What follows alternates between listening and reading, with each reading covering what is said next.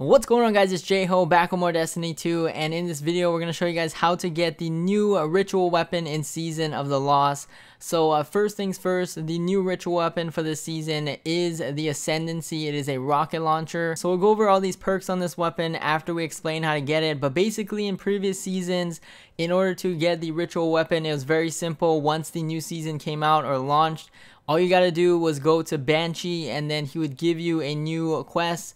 Once you complete the quest, that is how you can acquire the new ritual weapon. You would just come back to him and he gives it to you.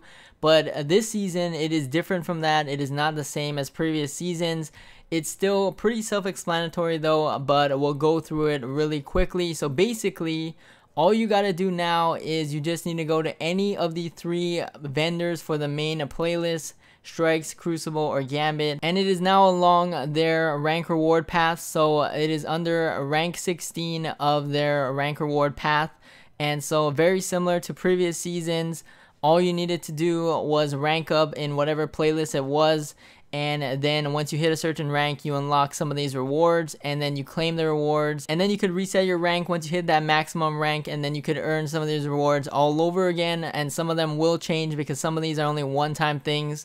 So uh, basically it is added to this rank reward path now and uh, as you can see here we'll go to all three of the vendors it is under the same rank rank 16 under all three of them Zavala Shaxx and the Drifter so all you need to do is just hit rank 16 in whichever playlist of your choosing. And that's how you get the new Ascendancy rocket launcher, the new ritual weapon for Season of the Lost. So a lot more self-explanatory. You don't need to do a quest this time around. You just need to play the playlist of your choosing, whichever one you want and then you have to hit rank 16 once you hit that rank then it will be available to claim. So real quick we'll look at the perks on this new ritual weapon. So for the first perk we got quick launch. We also got impact casing.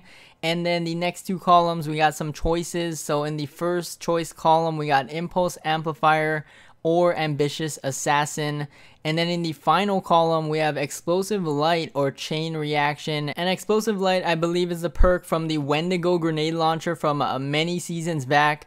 It was also a ritual or pinnacle weapon, whatever they were called at that time. But Wendigo was one of the better weapons that we got in terms of ritual weapons. So uh, this is a pretty decent perk, especially for single target damage. So uh, definitely interesting to see how well this is going to hit, especially after the nerfs to like Anarchy and stuff. You might uh, try to find a replacement for your heavy slot or your power slot. And this one uh, could definitely be decent, especially with a perk like Explosive Light.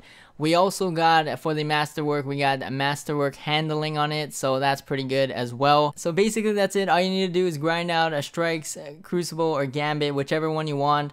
And once you hit rank 16 in any of the three, then you can acquire this from the reward path from the respective vendors and uh, from then on then you can work on the ornament quest. So uh, that's about it for this video though. Thank you guys for watching. As always stay tuned for more videos and i'll catch you guys in the next one. Peace